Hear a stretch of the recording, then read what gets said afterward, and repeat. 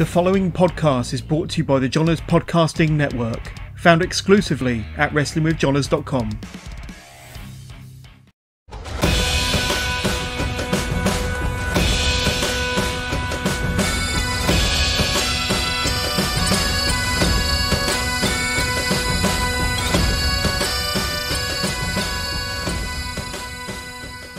Welcome to the latest edition of the SWN podcast. I am your host, as always, Billy, and I am joined on this edition uh, with the woke Robbie Balfour. Welcome to the show.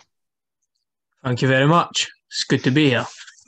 Uh, it was good to have you on. And so thanks for, for reaching out to us and wanting to be on because uh, I was going through stuff on our site and I realized that you've you've done pretty much everything but this podcast. You did the starter for ten. You we did you did a West. did an interview with you.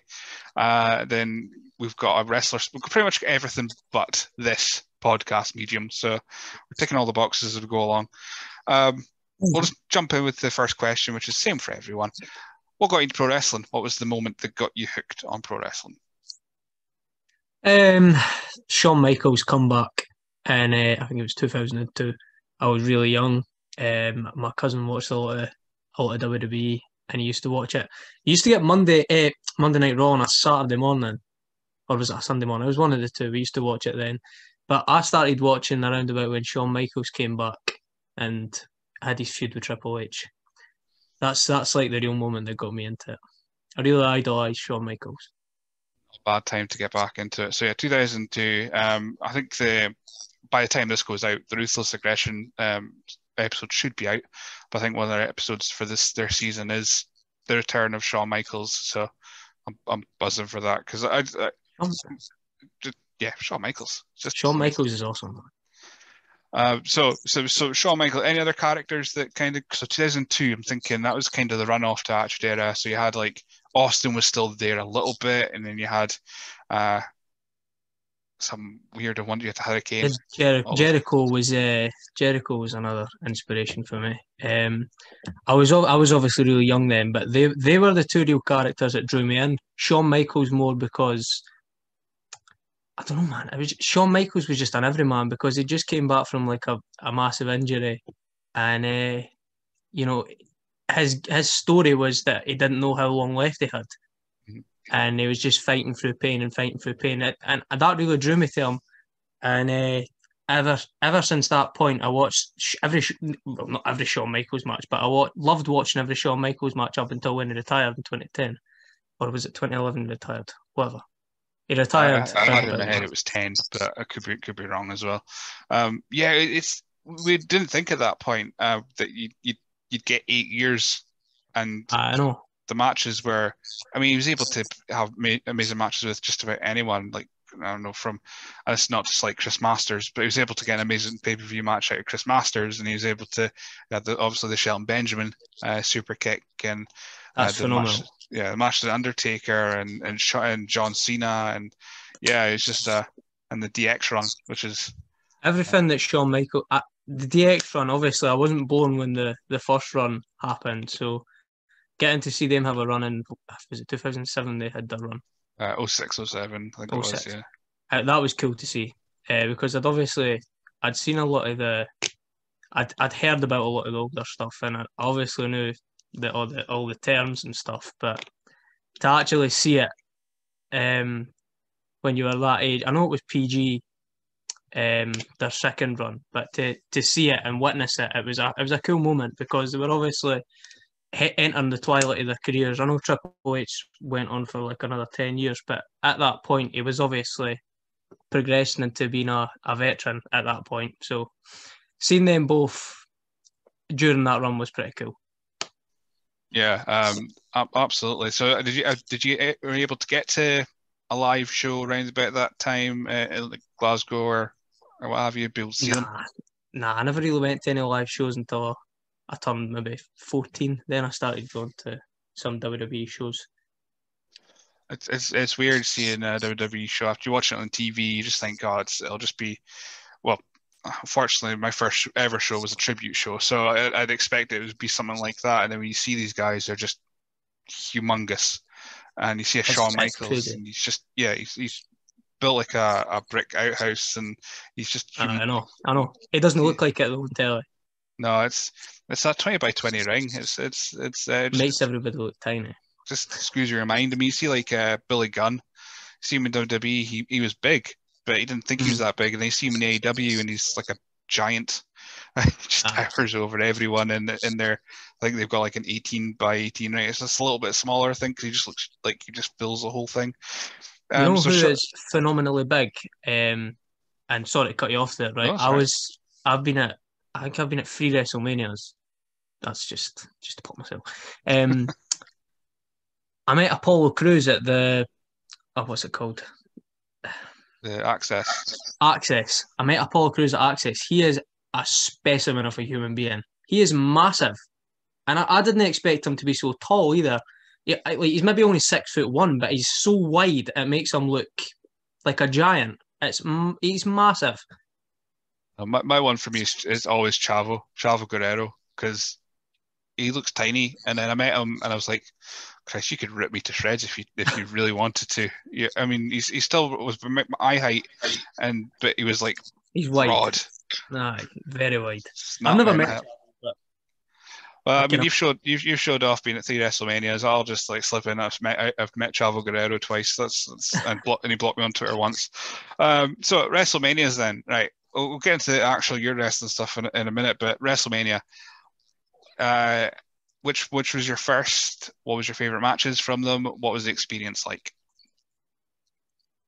WrestleMania 33 was the first WrestleMania I went to. Um, the best match on the card, in my opinion, was the the Seth Rollins Triple H match. I was different gravy. See, just being able to see a Triple H entrance live and in person, especially at WrestleMania, is just mind-boggling because you know he always comes out on some sort of like motorbike or with some horse. I, it comes out and does mental things at WrestleMania. So seeing his entrance live was just madness. And uh, Chris Jericho came out with a list, but I never, I never seen the list. I, I'm convinced it was uh, one of the edited things that they do on TV now. So So have a look at the card now, and uh, you got to see the Hardys return. I, I, that, I've got a video of that. Uh, I'll, I'll send you after this.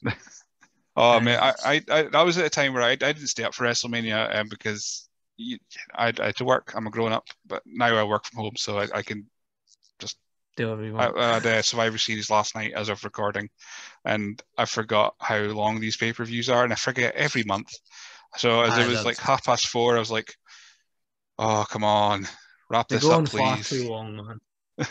I, I've not got enough time in the day to watch pay per views. Like, I, I sometimes try and watch them on a Friday because I'm usually off my work. So, but apart from that, I never, I never seem to have time. That's the thing. I, I'm, I've, if I don't watch it live, I'm not going to watch it. I won't I have time you. to. I So- feel like when when you find out the results, I know it's sort of like, I, I, I, it's obviously, it's predetermined, but when you find out the results, it's like, I, I kind of wish it was.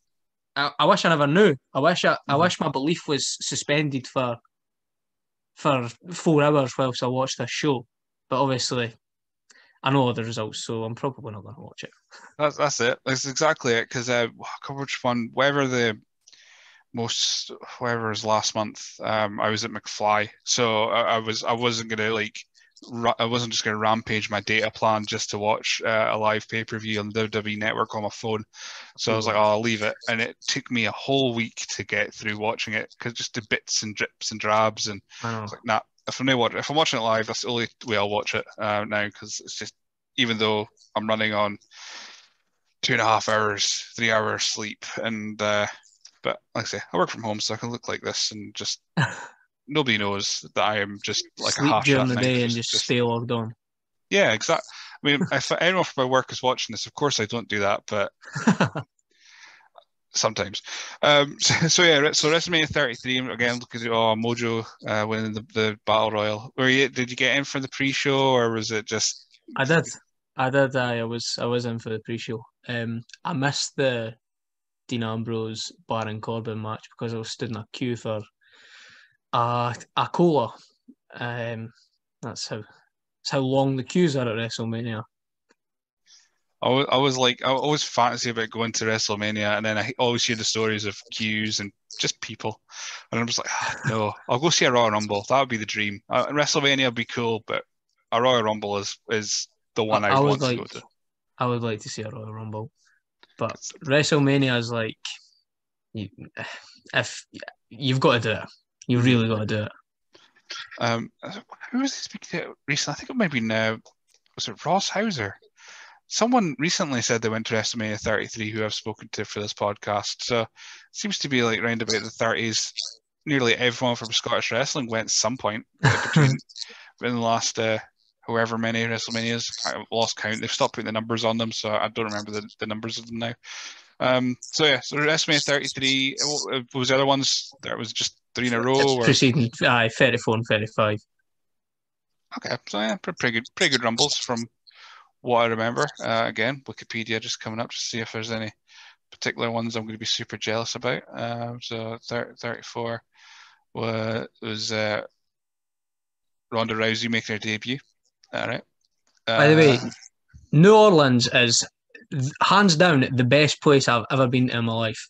It's fantastic. I w- even if I wasn't to go and see a wrestling show, I would go back to New Orleans. Hands down, it is one of the. It's phenomenal. It's an experience and a half. I always hear Bourbon Street is it just, uh, is just like Party Central and just It's everything mental. It's crazy. Absolutely ridiculous. So, any particular outside of WrestleMania moments that, that, that your New Orleans experience, or just your WrestleMania experiences in general? Because you know, Americans love the Scottish accent. I assume that you got some compliments out of it. Uh, so, but any any mysterious weird goings on while you were over there that you can obviously share? I uh, I- was there with one of my friends. He's he, does MMA and stuff, so he's he's a bit of a like intimidating character. And uh, some somebody wanted a dollar outside a, a store, a convenience store, and uh, he grabbed me and shouted to me, "Hey, get your brother, get your brother! I want a dollar. Give him, give me a dollar." that that stuck in my mind. Um, what else did I do in New Orleans? I watched a I watched a street dance in New Orleans, which was pretty cool. Um, that was on Bourbon Street, which was absolutely heaving for a, a street dance. Uh, New York, I bought a mixtape that I, I've never listened to. It cost me fifteen dollars. Uh, I don't know why I bought it. The the guy was selling them. Nobody was buying them off him. I felt really bad. I went over, said I would buy one. I didn't expect it to be 15 quid, but I'd committed to it, so aye. Sounds like uh, was, was Virgil there hustling? um,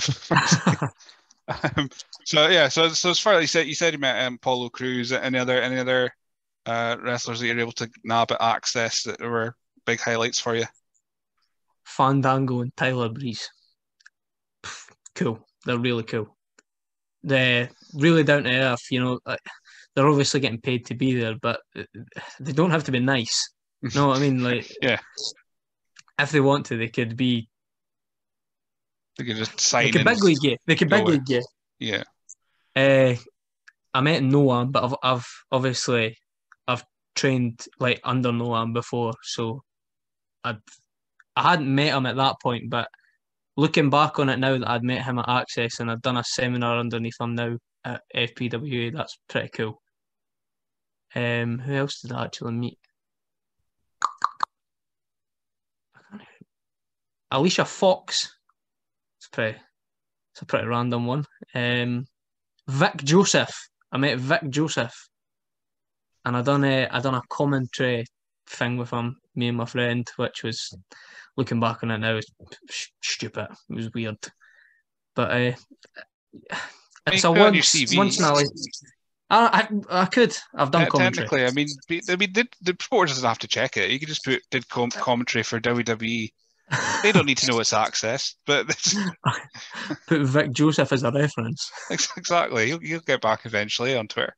Uh, anyway, right. So we, I could probably spend most of the time just speaking about how how's the WrestleManias, and then uh, people that are listening going, I don't care. We'll just want to listen to other things. So we'll move on for a second, and unless I think of someone going, "Have you met them?" and then we'll spiral back. Um, how did you go from then watching?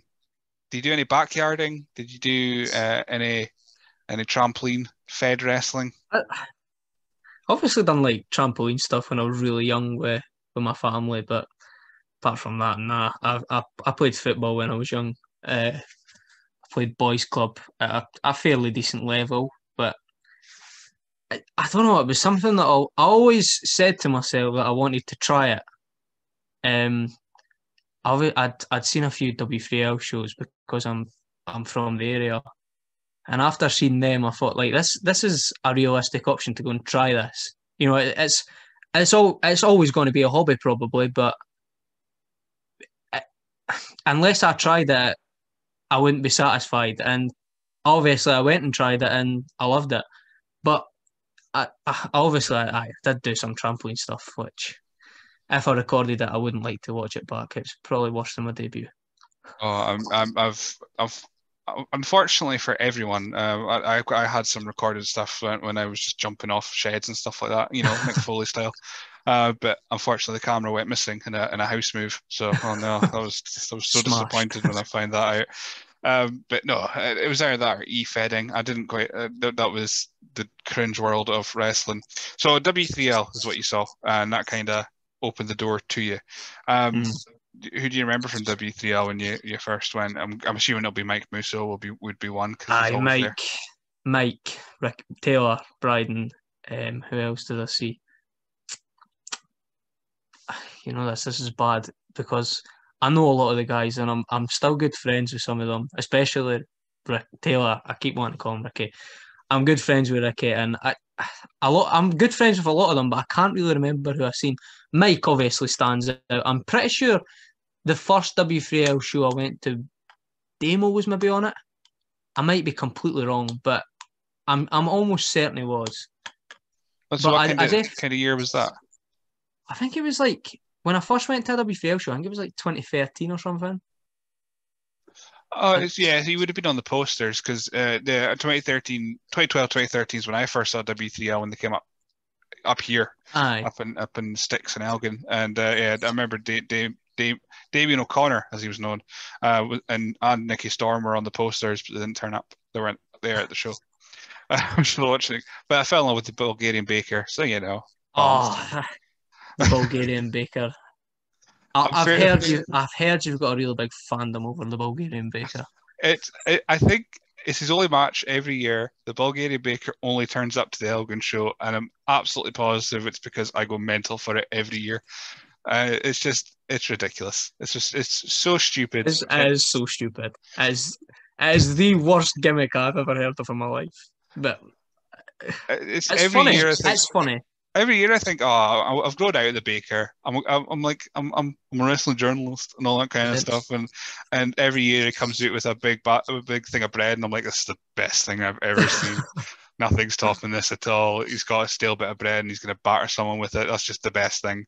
Um, I remember but... um, when we were when I was at training once at W3L, they were going up to Elgin, and uh, Leo King at the time was portraying the Bulgarian baker, and he practiced. He done like a training match for going up to Elgin, and I am pretty sure it was just to pop you. Um, so he, he ran a few spots with me and Omar, smacked us with a with a loaf of stale bread, uh, just to get some practice in as the baker before he went up to Elgin. You know, that, that, there was a year that I wasn't sure who the baker was. I think that's that's answered it now because every like there's one year. I mean, I don't want to pull the curtain back too much for the Bulgarian baker, but he's not a Bulgarian baker. He's usually someone else on the show. And uh, one no. year, it was it was it was definitely Dave Jeremy, and he did a monologue, which was so, so funny. Uh, and then one year it was definitely Dickie Divers because he still had his pink kick pads on, it's not like it's so, so it just I just love it. It's just the most it's just it's yeah, I love the Bulgarian baker. I don't care that if I know who's underneath the mask. The fact that they're taking the time to just do it is just hilarious for me. It's, it's a laugh. Uh, it's, it's a really good laugh. Exactly. You go to wrestling just to enjoy it. You don't go to take it seriously. Well, we don't go to, to take it seriously. Obviously, the wrestlers maybe take it a little bit more seriously than we, than the crowd do, um, because you know they've got to come out of it alive. And, uh, and Aye, aye, well, aye, that's that's a good point.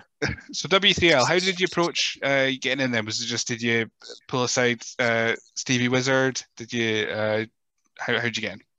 Well, right. So this is the story.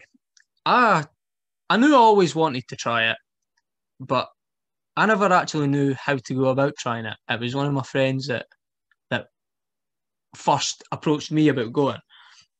So I was like, "Ah, cool. I've always wanted to try it. Let's do it." And uh, we went to W3. We got lost. Got on about half past seven. Mike was there. Mike had chauffeur. Uh, Jason Reed was there.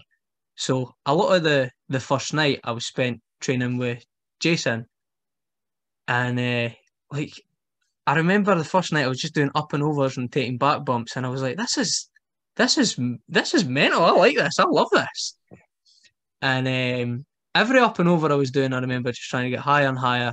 My friend that was really really wanting to go was the drizzling and uh, he never came back after the first week. But I was like, you know what, I'm I'm gonna I'm gonna try and stick at this because this is I, I want to do this. This is amazing.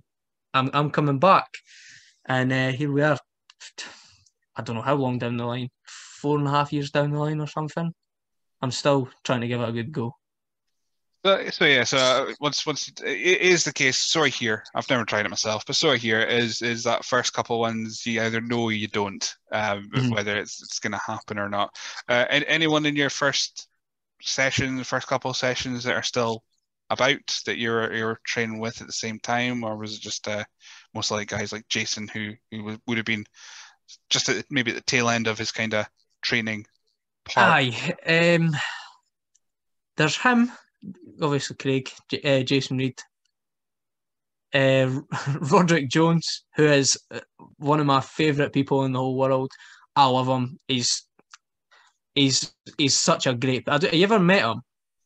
Um, well, I've met uh, I've met the Tormentor once, and uh, Oh, such who, who such a as, as a relation. Oh no, I have met I have met um, um, him because I did a very when I was doing radio.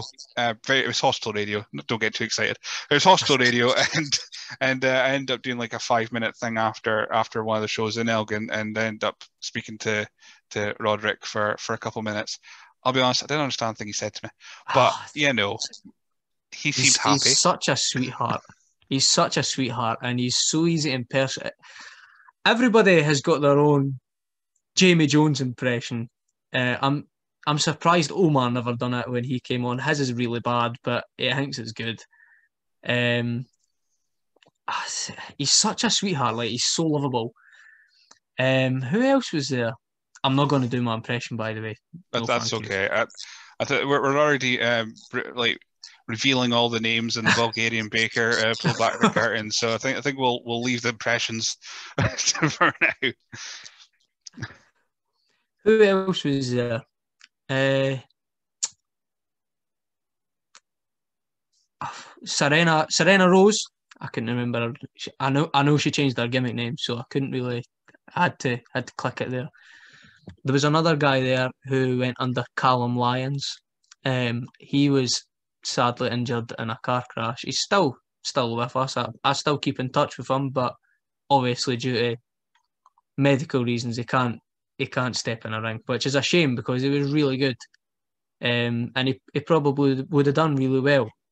But these things happen. Um, he's he's healthy and he's a lovely guy. So I, I remember the name. Um, I can't remember. It must have just been bandied about with. I think actually it's probably from the interview I did did, did with you to start for Tanks. I think you mentioned mentioned Callum and, and I Omar probably would have. and, and all that at the time. Um, so how long was it before? Because I know you, you wrestled in W3L for a little bit. Um, I mean, matches I've got like checked here just for experience and, and like notoriety would be like a match with, with uh, Future Shock Tom Fulton and in 2018, Uh-huh. and then of course Dickie Divers in, in 2019, not the Baker at the time, just Dickie Divers. But um, going back a little bit, then your first in-ring match, then how you, you I think you've already alluded that it was not the best. oh, it was terrible. Like I didn't realize it was uh, like getting uploaded to YouTube or that when we done it. I thought it was strictly for training purposes. Was it the Action Academy show? Yes, that was the Oh. first. That was the first match I ever done in front of anybody, and it was terrible. Like, as far as we were aware, it was it was a training exercise because it was like a, a family, like in front of our own families and stuff. So, I done it. I remember thinking at the time it was great, and then we all got sent it before it went on YouTube, and I was like, "Wow, that is terrible." And then I remember Omar telling me it was on YouTube, and I was like, no, surely not. Surely not. Uh, I watched it again, and I was like, uh, uh, I was thinking, please remove this. This is so embarrassing. But I I, I, I feel like I've improved since then. So I reviewed that show, um, so I'm just checking now because I remember it being so bad. You know, it started. Oh. It didn't start great. Uh, I put Cabe Alpha came out to no music. I think I could hear traffic. So that's not a really good start Oh. to the. let me tell you about that, right? So I was meant to, I was obviously meant to have music, and then I was just standing there. I was waiting. I was like, why is nothing happening? Why is nothing happening? I think they actually cut it because I was standing for like three or four minutes. Like, why is nothing happening? Because I'm, I might be wrong, but I think, oh, who was it? I can't even remember who I was in the ring with. Uh, Caden King. Hayden King. See Yeah. that? That's how. That's that's how. Memorable it was for you. That's how much I've wanted to forget about that that show, if you can call it that. Um, I think he was already in the ring, so I'm standing there just waiting and waiting and waiting because there's no music. And then I come out with possibly the worst line ever when I walk in. I'm like, ah, I don't need any music anyway. And then I'm, oh, I was, I, as soon as I said that, I was like, that's so cringe. What have I done? Oh, Um, Not not to not to focus on it too much because if anyone wants to go check out my full review of the show, they can do on the SWN website. Look for W3L Action Academy. I Um, recommend it. It's it's a show and a half. I, I I spoke to Johnny Lyons not long after I put the review up. I was I was so terrified to speak to him because I was not nice about the whole show, and he was just like, "Oh no, I, I agree." I was like, "Oh, thank God, oh God!" But uh, you know, you got some you got some uh, comment, you got some compliments. Um, I did say it looked like two boys scrapping outside a pub. Uh, I, but- accurate. but you had a nice roundhouse kick. So Thank you. The one move that I don't throw anymore. Thank you. uh, uh, uh, but yeah, then then you then you lost. Uh, but you know, it was. Then I came were out for you- a rumble and got uh, chopped by Kevin Williams, which was the worst experience of my life. It was very sore. Uh, I really like Kevin, but there was no need for that. It was painful. I was just I was just scrolling down because I was like, I seen over the top. There you are. Uh, yeah, number eleven. I didn't write much about that. I'll be honest with you because it was not a great rumble either. so No, no, no, it wasn't. I will just I will just close that tab. We'll just we'll just move on from that. Leave so after that match, though, when when do you when do you feel like you had your actual proper debut? Then that you felt like yes, this is my first actual match with music. It, pro- it probably would have been against Tom Fulton. Um, I think that was maybe my was like my third match, but it was the first match I like felt like I was good. Like I really done well there, and I think it's because Tom's a great guy. He's really sound, and he made me feel really comfortable doing that match. And uh, I don't know, I, I don't know if it was ever recorded, but it, I'm not just saying this to big myself. It's actually decent. Like it's it's not terrible compared to that thing that we've uh, just discussed. Uh, but yeah, that, it's- that's what- there you go. that's what I would say was like my my my debut, my proper debut. Um, so yeah, that was that was 2018, and I've got, I've got it noted down. So t- Tom Fulton, um, yeah, he's just he's a guy who's just been all over the place, and of course because he, Oh, he does he is in Romania. He's he pretty much built the whatever wrestling scene is in Romania, I know. and uh, he, he comes over. He comes back to the past every so often to to f- face people, um, which again, as far as gimmicks go, love it because it's just He's ridiculous. he's a really good guy, but and his his gimmick is quality. a um, you know, it, it was obviously just like a town show. It wasn't like a like it wasn't a wrestling showdown or that, which was is obviously W3L's bigger shows. But the amount of time and effort he gave me on a on a on, on like a throwaway town show, I will always I'll always look up to him for that because he didn't have to do that for me, and he did, and he gave me good feedback, and he put in a good word for me after the match. So I'll always be thankful to him for that. And one thing that I really respected too, he never forgot my name. Like I, I don't know why. It, that was the first time he met me, and I've only ever met him like three times after that. But he's never forgot my name, and I don't know why, but that's stuck in my head. That's a sign of a good person. I, I, I had I had a theory once because I saw him with like with his hair down and everything that he's actually Jack Jester from the future, and then he comes back every so often. But it hasn't really. Uh, nobody's kind of took it on. But I'm I'm still believing it that Jack Jester is Tom Fulton. Uh, but you know, we'll, I'll find out in the future when when, when time travel travel's possible and and and Jester goes back in time. I'll be like, I told you, I told you, it's Tom Fulton. That's who it is. Um, so, so, yeah, so that one, so W3L, and they also had your uh, uh, Wrestling Showdown. I think it was Wrestling Showdown title match uh, with Divers, wasn't it? So, aye, it was. Aye. So another another big experience. Don't want to call him big there. I just call him huge, but another experienced individual, uh, a veteran. That's the word you used earlier. That's a better word. Uh, a veteran in, in divers. So how's how's it like in the ring with with uh, with Dickie Divers? Favorite match I've ever had honestly, favorite match I've ever had. I, again, I was so nervous because the way I was looking at divers is like he's he's done ICW, he's done disco, he's done everywhere that's big in Scotland. Why, like, he, and he's just turned up here and he's found out that he's working me. And again, the same as Tom Fulton, he, he gave me all the time in the world, and he spoke to me, he listened to my ideas, he told me things that that I could do better and um, that would flow better in my match with him. And I took that on board. I've still I've still kept that in my mind, and I hands down that's the favourite match I've ever had. And the last one I've got noted uh, in my in my like ones I wanted to highlight at all would be uh, 2019. I think it was a Resolution uh, Breakout uh-huh. Championship. Uh-huh. So, so we've already mentioned, uh, well, we've mentioned everyone in this. So you're against uh, Leo King, Roderick Jones, and and Omar Mohammed as well.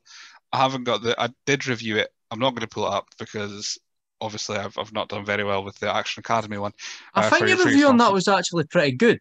Like for me anyway. I I remember Omar sending me that, and it was what you said about me was pretty nice. Like, right, I, hang on, I, let's find out then. let's find out. Why, why not? If well, well, especially after what I said about Omar in the, in the Action Academy one, anything I said oh, after that was very nice. He, I remember he was very upset about that. I think it still bothers him to this day. I think he yeah, forgets about it every so often, and then and then it pops up, and he, just, he just reminds him of the whole thing again. Because yeah, bloody shoes. Omar's shoes. my Omar's probably my closest friend uh, in wrestling, so whenever he feels upset, he usually just comes and has a moan at me about it. And uh, I remember when he first heard about that, it was uh, he was almost crying. I feel I feel so bad because uh, I don't think I'd do this podcast. He was my first guest on the podcast, but I, I, it's it was I used to be just really nice. I, uh, well, I still am very nice in my reviews. That's I, I always like to look at the positives, but um, sometimes I'm just like, nah, I'm not having this. There's and no positives in it. unfortunately, his, his shoes took the brunt of it that particular day. He still has them. Huh? He still has those shoes. Well, as long as I never see them again, I think that'll be best. Um, yeah, yeah, I think I was, I was quite, I was, you had a nice dive. Uh, yeah, it was, I was nice about. Right, anyway, right. This, anyway, great plugging for my own website here. You're doing a great job plugging uh, reviews of but hopefully next one I do will just be all positive and I'll be like best match ever. And anyway, um, so so that was so that was W3L, and then you kind of disappeared, but you end up in, in FPWA. So how did you end up there? Stu, um, Stu's obviously of, of Johnny Lyons I'm just going to call him Stu because he's retired. So Sorry, he's, he's Scottish. He was Stu obviously- rants and reviews now, so it's, it's that's true. he was obviously going to become the like the junior coach at FPWA. So there was obviously I'm not wanting to say the like there was obviously the few at the WFL school that he liked, which was obviously me, Omar, Callum, Ross Hunter, and Harmony Sky. So we were um we were alerted to FPWA opening its doors. And when I found out that Andy was obviously the head trainer, it was a, a no brainer because Andy's great and the amount of respect I have for Andy is phenomenal. Um, like every every time I go to training, I feel like I just improve under Andy because he he puts so much time into his students. I'm not wanting to like, I'm not wanting to bash the WFL or that, but they were running shows and that was a priority, whereas Andy's priority is training everybody for for the future. So that that's obvious split. Like I I would accredit Stu to be my, my main trainer until I went to to FPWA where obviously Andy is my my head coach now.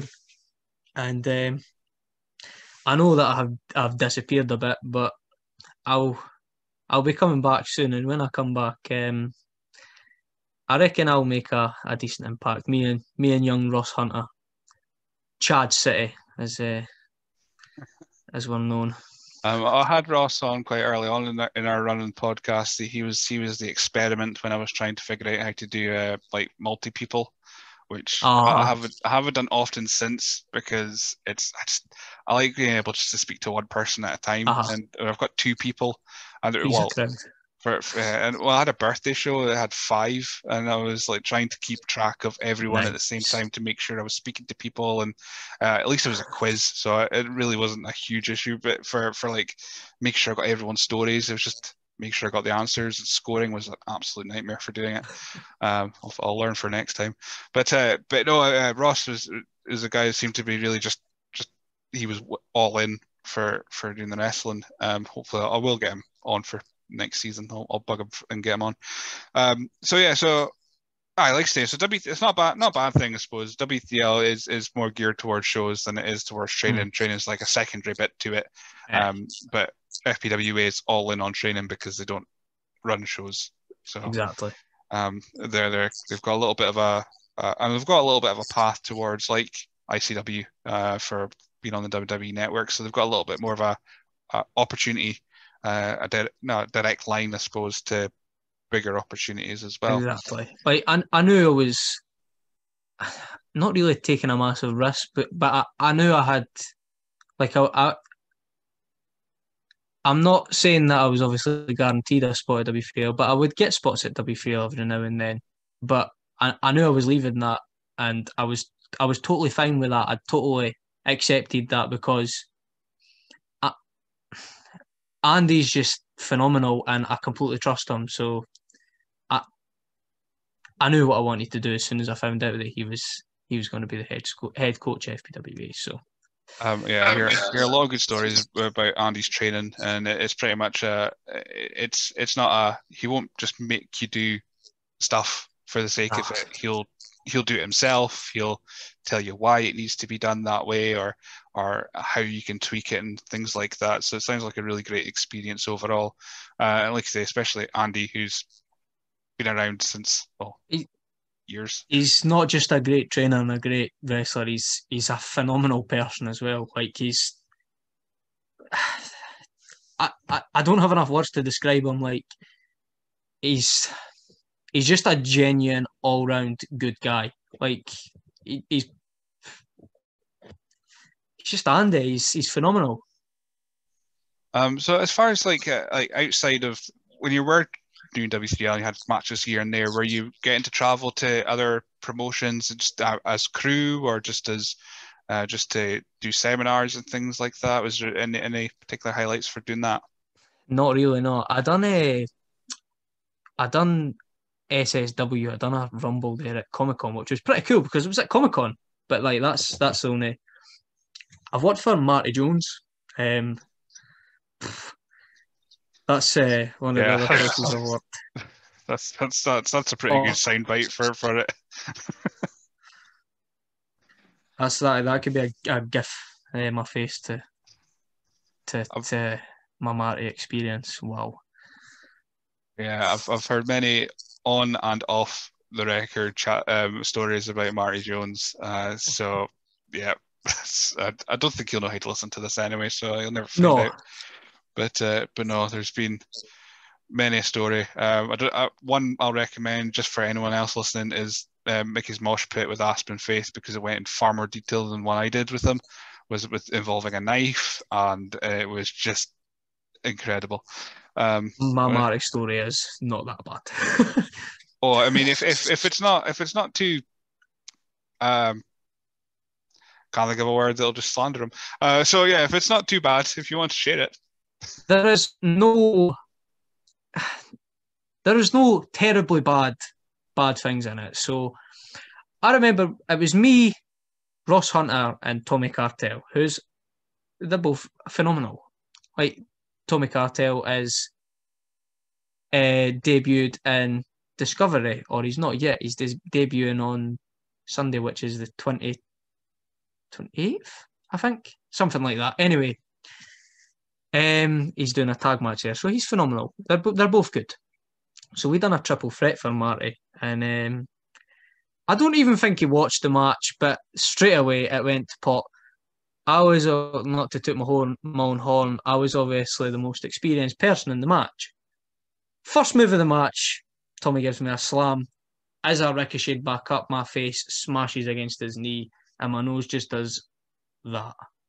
Blood's going everywhere.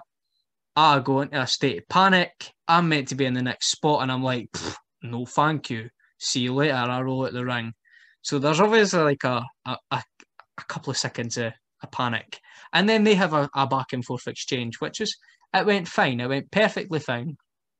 And then I come back in a bit dazed and confused, not knowing where I am. And then I break up their their exchange and I start shouting at, at Ross, um, completely calling audibles out loud because I'm for I'm not there. My face is exploded. I've got blood in my eyes. I've got blood in my mouth. I've got blood on my chest. I've got blood everywhere. So we're calling audibles. We're meant to do a 10 minute match. I think it goes like four minutes or something. Um, it was a, an elimination. So we eliminate Tommy. And then me and Ross had like three running spots planned. I grab him, I punch him, I take him to the ropes. I'm like, just finish me. Uh, so we go straight to the finish from there. We get back and uh, it goes to the interval. So we're all sitting in a room. Marty comes in. He looks at me and he goes, Did you throw strikes? I went, No. He was like, Your strikes. are-" I was like, I, I never even threw strikes. And then there's another guy called Steve Savage. I don't know if you've ever heard of him. He's an Irish guy. He works a lot in England and for Phoenix Wrestling in Ireland. He's jacked. Like he's a massive dude. Um, six pack, massive. Marty Jones goes up to him, gives him a slap in the stomach, and goes, "You need to lose a bit of that chub, pal." The, the guy. Wait a minute. I'm gonna. Where's my phone? I'm gonna show you a picture of this guy. I don't know if you'll be able to see it great because we're obviously on a Zoom call, but hold on. I'll Google him at the same time just to just to make sure. But uh, oh, it's just coming up with a rugby player. That's probably not him. Uh, consultant. No, maybe put wrestler. That'd be. This is just this is just a Google episode of. I don't know if you can see this, right? That this is Steve Savage. It's it's not the greatest of pictures, but I- you I can get- see he's, get the idea. he's not fat. Like there's, he, he's shredded, and Marty Jones is telling him to lose a bit of timber. It was it was hilarious. It was one of the moments where you had to to to cover your face to avoid laughing. That that's my Marty Jones story. It's nothing great, but it's it, if you were there, it, it would make you laugh. It's a it was funny. I mean, no, no offense uh, to Marty. Eh, who cares? Uh, pot kettle. I mean, I mean, I, I know myself. I'm, I'm not, I'm not a thin person. I, I wouldn't go up to someone and go, ah, all right, fatty. I'll get it. so, so, oh man. So yeah, that's that's a fairly tame Marty Jones story, but I think it encapsulates the man Uh, quite quite well. It, it doesn't uh, make him look too bad, but it's it's just one of those things. Oh, it was I mean- it was it, it, it slandered my strikes, and I never even threw a strike, which infuriated me. But we live and we learn. We go on. so, was that. the first time you- you'd actually got blood in a match then? Uh, and and is that the point where you thought wrestling was a bit was a bit too real at that point for you? I mean, I'd burst my lip, but it was like nothing. But that was, I was like, oh my god, oh my god, oh my god. I was wiping my face and there was blood on my hands. I was like, oh no. But aye, that was the first time I was like, oh my god, this is this is actually happening. I'm so scared. I don't know where I am. I need to I need to get out this ring and compose myself. But once I'd like processed what was going on and realised I was covered in blood, I was fine. But the the initial the initial um the initial happenings of it freaked me out a wee bit. Aye, but the next time it happens, I'll be fine. If there is a I just imagine that you're thinking it's uh, Eddie Guerrero when he gets the, the chair shot from JBL. Was it a Great American the Bash? with crimson just, mask. just absolutely drenched in it. When reality is probably just a wee bit here, and that's about it. But you know, it's it's the perception of the thing. You think that's blood everywhere. I must be covered in the stuff, and then we dab of the towel. Oh, that's it. It's all gone now. So oh well, it's over. Um, so so FPWA then that's that's where you're you are now.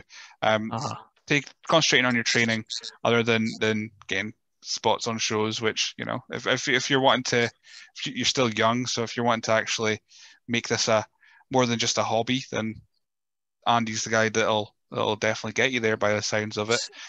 Um, there was there was talks of a showdown uh, like a, a showcase show last year. I was hearing from when i was speaking to all the other fpwa guys. Was that something you were um, gearing up for before uh, lockdown of course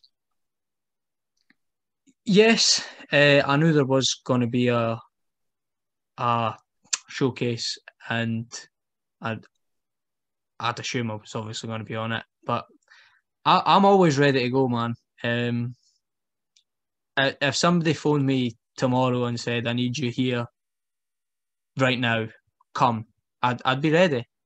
Like I, I keep myself fit. I, I'm in the gym four times a week. I train twice a week. I, I'm ready to go. Like, I, waiting for the the call the message ah, exactly, exactly. Uh, that, I'm I'm not in any rush. Like I'm I'm in a good place right now, um, physically, mentally, and I'm training hard. So as soon as as soon as the as soon as I'm I'm needed, I'll show up. All right, I'll go into the, the questions we got on Twitter because we got well, all of them came from Omar Mohammed, uh, of course you're very familiar with. Um, uh, again, plugging my own shit here. Uh, if you go back, you can listen to the amazing segment Omar and Omar. You know, I could just throw it out there. Uh, anyway, so he's put: Have you have you still never seen a Marvel movie despite uh, getting quantum suit gear? Right, I've done. I don't want to make myself sound like a total idiot here. I've seen Logan. I don't know if that's a Marvel movie or not.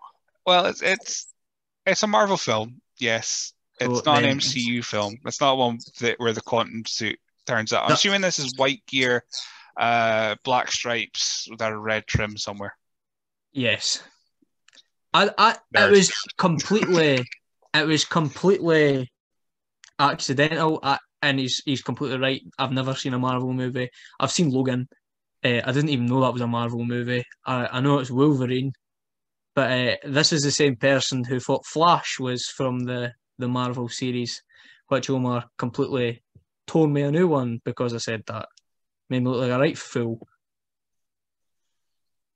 Is Logan the only- so have you seen any? So the, the feedback just came back as like I sound really angry, but you know, just so have you seen other, have you seen the X Men films with with Wolverine? How can they, how can you start with Logan? That's, that's such a random. That's the last I last don't one. know. I don't know. I was. I went to the cinema to see it. I, I, I went with my pals. Um, they wanted to see it. I asked if I wanted to go. I was like, "I sound." Went and seen that. It was. It was quite good. I, I enjoyed it. It was good. Um, it wasn't good enough to make me want to watch more Marvel movies, but it was it was good. Is it is it just just just not your thing, uh, Marvel? I mean, I, I, will I'm, I I won't press it too much because I think everyone knows who listens to this that I I'm a big fan of them. So as you can see from the random wall of crap I have behind me, but but well you won't know because you won't recognize any of it. But No. so so yeah, it's just just not your. What's is you just an action film kind of person or what's what's what's I your can't really say it's not thing? my thing. I, I I've never seen it, so I don't know if it is my thing or not. But I don't know. It's just never something like. It's never something that me or my family's ever ever watched. Like I, I don't know. I'm I'm more into like I'm a celebrity, which is which I'm gonna be going to watching in the next hour. So like that's my that's my jam. I, I, I won't. I won't judge you. I, I'm, I'm trying not to judge you, but so I will reel it back a little bit because you know it, it's each each their own. I, I mean, uh, for most episodes I've had, certain ones, anyone, everyone's talk, talked about anime. I've never seen anime. I've, I've never seen anime either. Never seen an never single thing about anime. Like I'll watch like if if it, if it's not like Western like Simpsons, Family Guy, then I'll have no idea. So yeah, so yeah, everyone everyone's got their Family thing. Guy. If, if your if your things if your things uh, I'm a celebrity, uh, then then that's your thing. That's that's all good. Um, The, the closest anime I've ever got is Family Guy, and American Dad. I like American Dad. Um, I used to watch Family Guy religiously, and then of course BBC Three took it off, and then BBC Three disappeared. So I haven't really watched it since. But I've got I've got TikTok, so I've got enough clips for me just to kind of scroll through and and see uh, all the all the same jokes over and over again.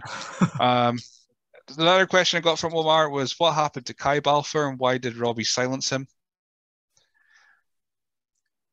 He just went missing, and uh, I took over the off my my own body. Um, but Ka- Kai Balfour is one of those things that we shan't shan't discuss because he's uh, he's he's swept under the rug and He wrestled Robbie at that Action Academy show, so we don't want to mention him ah, anymore. ah exactly. Robbie Balfour's here to stay. Uh, and why did you dye your hair blonde? Is that Omar that asked that? That's or is- Omar. Yeah, it's not me. He's just going, why did I judging your Um, hair? I've got none. Uh, yeah, why did I? I don't know. I actually forgot that I dyed at blonde. Um, I, I don't know. I don't know why I dyed at blonde. I just did. Felt like it. I, I genuinely don't have an answer for that. I um, I just dyed it. And the last question we've got, it just says also just this. I don't know if you've seen the the the photo. Um, Oh, I, I've not, but I know what photo it is, and it's pre-Action Academy. Um, I'm I, gonna see I if I tried to look. get it up for the for the people watching at home. I could splice it in, but I don't know how to, so we'll just, just go with this. Uh, see if I can. Oh, the greatest photo in the world, but it did I- follow I, up can, with just your I can see enough of it. I can see enough of it. Oh, there you Um, go, everyone. It's. It was before I ever used a sunbed, as you can uh, obviously tell by the complexion of my skin. Um, I don't know what's going on with my hair. I've got a thicker jaw than I, I have now, which is weird because I'm older. Um, I, I don't know what's going on in that photo. I was trying to look hard. I could, I could, I just pout it. You're just pouting. That's. I, I had a mouth guard in. I, I, I've never. oh, I, I don't know why I've got a mouth guard in. Uh, I like the gear though. It's very. I'm, probably going to go over your head here. It's very uh, uh, gold Dino Ranger from Power Rangers. Oh, hi. Yeah. that one. Yeah, yeah, that's that's lost, lost on you. Ah, it's just whoop. Is is your gear design just just like I like those colors, I like that pattern. Aye. There you go. There's no I've- no further design choice from there. I've stuck to what I know this time. So me and Callum got tag gear made, and uh, I, I got it Hearts themed because I support Hearts. So that's the first set of gear I've actually knew what I was doing. But other than that, I just throw stuff together that I think looks cool. And somehow you ended up with uh, quantum suit gear from from from a film you've never a franchise you've never seen. I've never heard that. That's Uh, absolutely amazing. I was baffled when he told me about that. He showed me a picture of the quantum suit, and it's pretty spot on. Like, it's just like subconsciously you've you've been in a room while it's been on or seen an advert and it's like that's Probably. that's, that's that's the one for me. I'm Uh, it could have been worse. You could have come out with I don't know. Uh, I'm a celebrity. It could have just been uh, red and blue, and uh, you could. I, I'm just now describing Marty McFly. Uh, you could have had we uh, we gilet on and against body warmer. I think as people call it, body warmers, not gilet. Gilet. That eh, that quantum suit gear got ruined after I wore it twice. I was uh, was pretty disheartened about it. I um, I washed it and I forgot I was washing it, left it in the basin, and it just died everywhere. I was gutted. White is a brave, brave set of gear to go for, uh, just in is. general.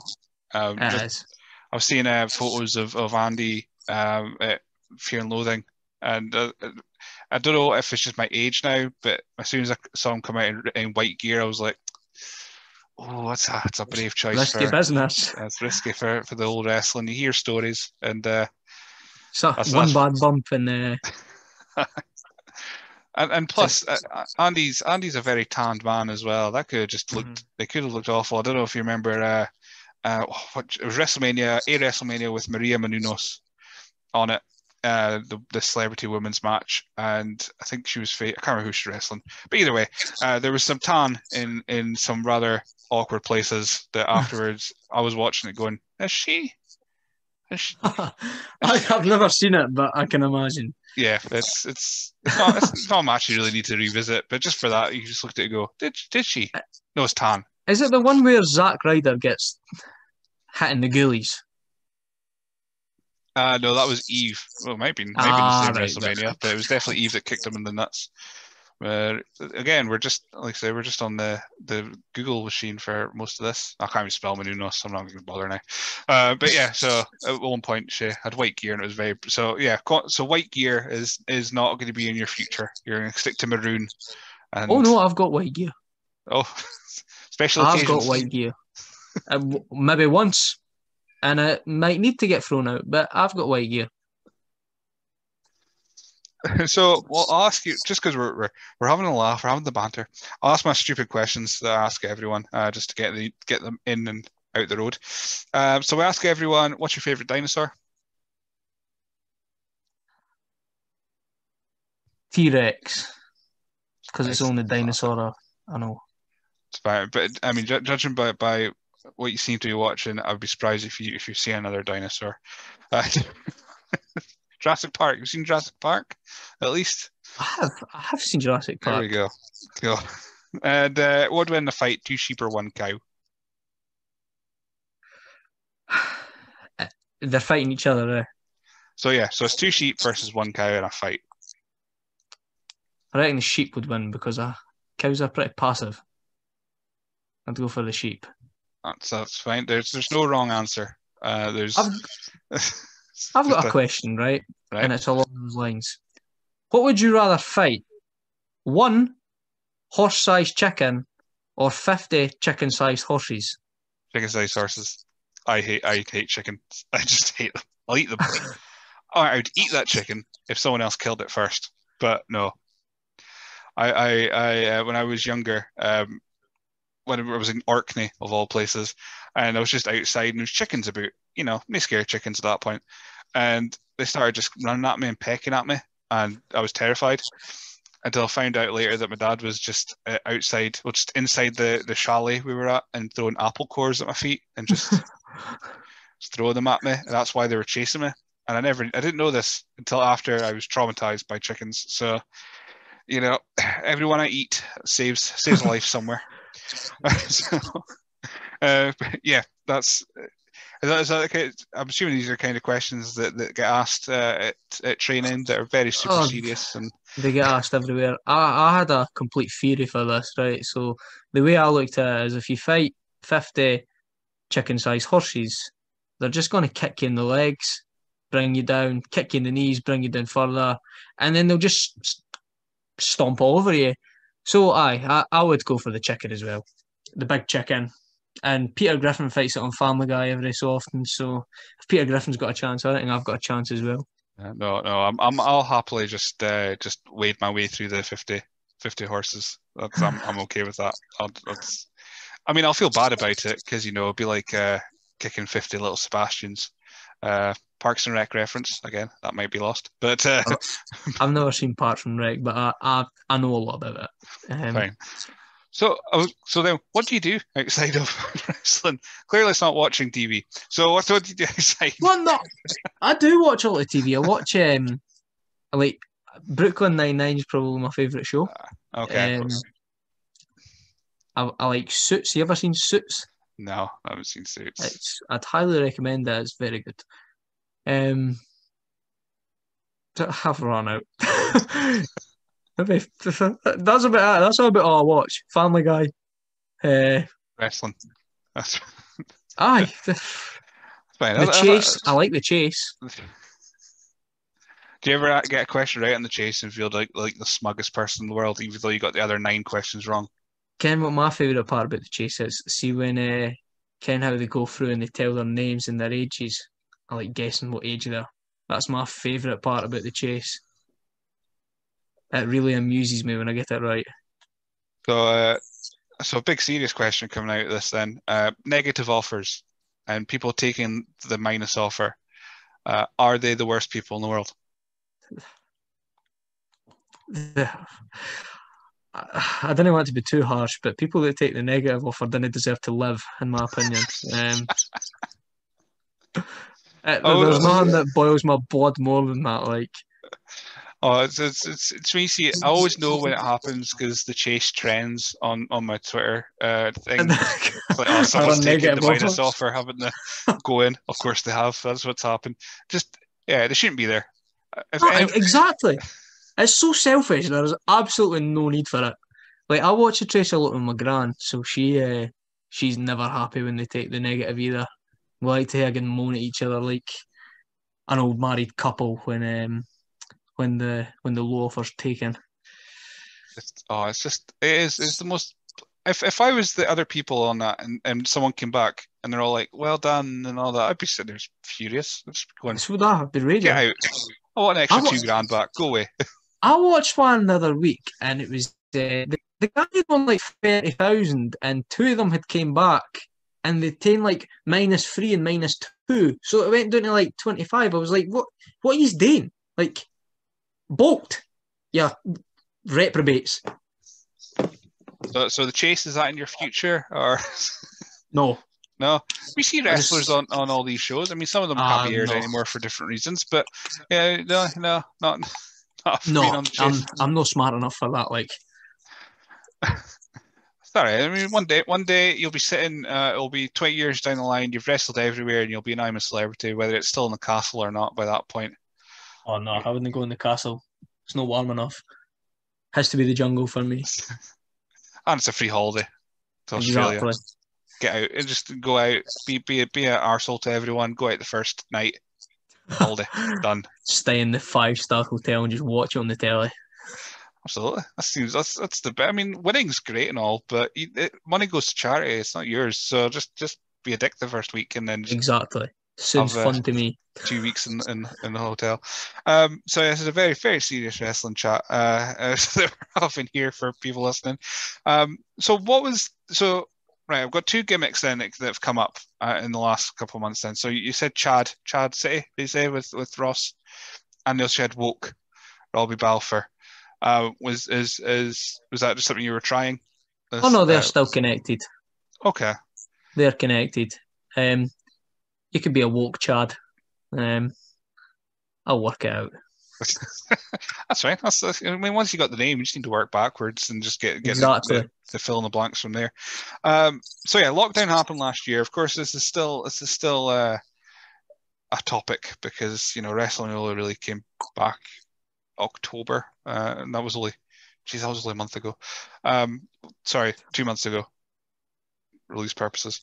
Um, so so when lockdown hit, of course, you're training FPWA. There's possibly this showcase happening that you're, but you're ready for action whenever it happens. Um, lockdown hits, you can't do anything. You can't go gym, you can't train or anything like that. So how did you kind of fill your time and, and keep yourself occupied? cycling, FIFA, Warzone. That's pretty much it. Fair enough. I couldn't watch WWE uh, or AEW. I, cou- I couldn't watch the empty arena stuff. Like I, I, I didn't hate it, but it's it was very hard to watch. There's obviously no like you wrestle for a crowd. It's so hard to watch it when it was the empty arena stuff. So I my uh, basically just I cycled every day. Um, came in, played FIFA, and then went on Warzone because I was on furlough as well, so I had nothing to do. Right. Yeah. Uh, yeah. Literally, this is this has been my life now since uh, lockdown, March 2020. So, unfortunately, lockdown is is is brought very ter- many terrible things in the world. One of it's being uh, 128 at this point podcasts with me just telling the same stories every four episodes. Uh, but at least the guests kind of brings something. So Warzone, I'm, I'm a Fortnite. I've, I've been converted into Fortnite guy now. Uh, Warzone seems a bit too scary. I'll go for being Captain America and uh, and hitting things with a shield for a bit, and then killing someone I- dressed as a banana.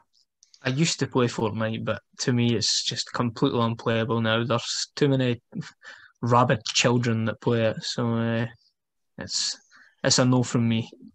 Uh, it's, it's weird. It's like I, I I was rubbish. I'm still rub- I'm rubbish at it, but I'll, occasionally I'll get down to the final three, and then I start panicking, and then it'll go down to two, and I'm like, oh my god, oh my god, I'm I'm I'm I'm I'm gonna win, and then that's when I get shot, and I won it. a, I won one singular game of Fortnite, and it was on my phone. It wasn't even on like an Xbox or a PlayStation. It was on my phone. Uh, I, I don't know how. Like I, I completely lucked my way through the game. I think I got like three kills or something, but I won. But no, that's, You know that's, really, really likes Fortnite and it annoys me to a certain extent is Ian Ambrose. He posts so much about it. He posts so much about Fortnite and I, I didn't get what the big craze about it is.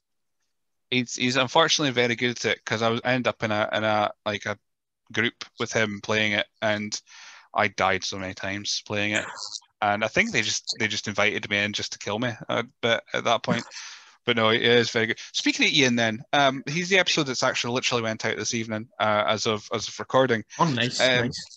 Was it was it a bit strange when, of course, you came into FPWA, probably one of the more experienced trainees, uh, and Uh-huh. then you've got Ian come in, who has been around for quite a bit longer.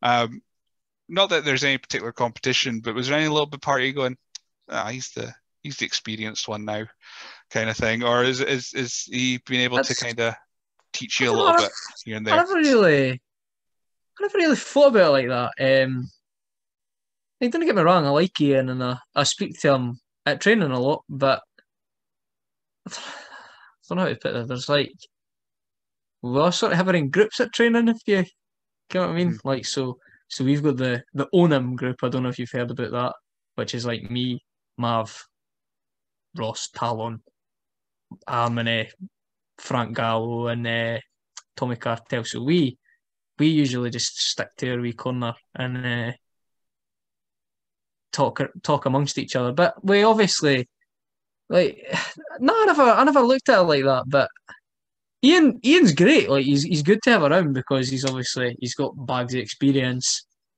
and um, I I've had a couple of training matches with him where it's been tags because we me and Callum were obviously getting a lot of reps in as a tag team. So working with him doing the training tag matches and improving and listening to his feedback has been good for us.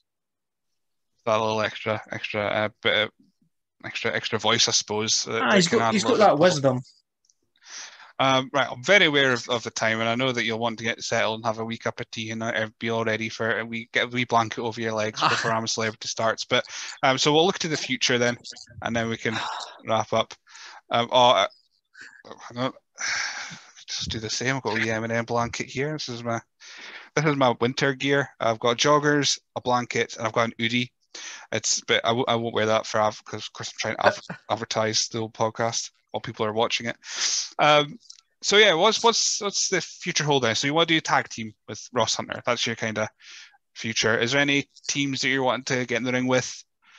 uh, Um, in the future? In the say in the next uh, twelve months.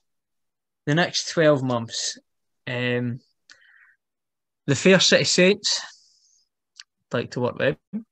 Um, I seen their match at Disco against Divers and Jack, the 9 9. Um, uh, the 9 9, I'd like to get in the ring with the 9 9. Uh, Kings of the North, KOE, we'll, we'll take any of them on. We're Chad City, baby. Easy for us. And uh, as far as promotions, uh, I think you mentioned pretty much like like disco and and ICW and that, but uh, anywhere Everywhere. get to. Fair enough. Absolutely everywhere. So before we do your social media and we wrap up for, for the evening, um, I'm trying to make this last question now. And again, I apologize for everyone listening because I think I've said that bit for the last four episodes, me trying to make this last question. Fantasy book. You are in the main event of WrestleMania. You get to pick your opponent. Who is it? And uh, they would have to be able to wrestle now. So, I mean, I will paraphrase. So, it can be Shawn Michaels, I suppose, Baldy Michaels, if you wanted to, to have him in the ring with you. But yeah, who who are you facing? Um, oh, there's three names that spring to my mind straight away, so I'm gonna have to narrow it down. Fatal Um, four way. It's your, it's your match. oh, I can have a fatal four way. Yeah, you you So- you're in the match. It's your fancy match. Your opponents. It could be anything. Seth Rollins, Randy Orton, and Roman Reigns. Yeah, From the top of my head, that would be the that would be the three. That would be definitely a main event. I'm, I'm waiting for someone that they'll just go a Royal Rumble, so they, they can have they could put 29 people that they can face. they come in number one and, and win. Um, but no, that's yeah, Reigns. That's Orton. Honestly, is probably one of the best in the world. Uh, that doesn't get the appreciation that he probably Nice. should get. Doesn't and uh, Rollins is insane in the ring. Um, but no, it's, like that was supposed to be the last question, but also detour it. But no, you're saying like watching the shows with no crowd, it was so weird. I, I did the Thunderdome uh, for a Ah. year. I watched some of the Thunderdome. Um, It, it was such an odd experience, though. It it I, I didn't mind it because I could watch it for free. I didn't need to buy the network at that point because I was in the Thunderdome. But uh, but no, it was such a weird. You're you're pretty much told how to react, which is just the oddest thing. Being I can imagine. and if you don't do it, they they they'd boot you, even though they told you just to react. And because I'm still bitter that I got booted out for booing Sasha Banks because I didn't like Sasha Banks, so I booed her and I got booted out. I did get booted out rightly for swearing when Drew lost the belt to Orton. I think I, I, I deserved that because apparently the mics are all on. But okay, but yeah, uh, but yeah, well, yeah, Thunderdome. It was a weird experience. Uh, anyway, yeah, like I said, we're, we're, we're gonna go get a cup of tea in our blankets and our bourbon creams. Where can people find Robbie Balfour and uh, and Chad City on on social media? Um, my Twitter is Balfour Pro. My my Twitter is at Balfour Pro. My Instagram is at the Robbie Balfour, and I don't use Facebook. Um, if you really want to find Ross Hunter, I'll give you his ads too. His is uh, you can see I'm getting into my commercial voice here. You His still is, have a Facebook page if you if you don't realize. I do, but I need it because like it comes up sport personal man stuff. So if I delete Ah. the Facebook page, it Fair enough. I I blackened everything out on it. Ross Hunters is at Ross Hunter PW because we don't have a Chad City page, and I'm not going to find his Twitter app because I can't be bothered scrolling through my phone. But um, It's, it's Ross Hunter PW. Uh, because because. I only, I only know that because uh, when I spoke to him, it was like Ross something number numbers millions of numbers, and he was like, I don't know how to change it, and I had to actually screenshot him how to change it afterwards. So that doesn't surprise me. He's so thick for such a young a young laddie. He's so thick when it comes to technology, and I don't understand it. Uh, I don't understand that. I don't understand technology, but I knew how to. ch- I know how to change my, my Twitter handle. That's. I'll take that. That's, that's So should everybody. It's, so easy. Uh, anyway, with that, we'll, we'll wrap up. But yeah, thank thank you very much for joining me on the podcast today. Uh, hope, hope everyone's learned something about uh, Robbie Balfour, even if it's just that you're going to send him a load of Avengers uh, gifts that he won't understand. if, if you so wish, at Balfour Pro. Um, I really hope someone does.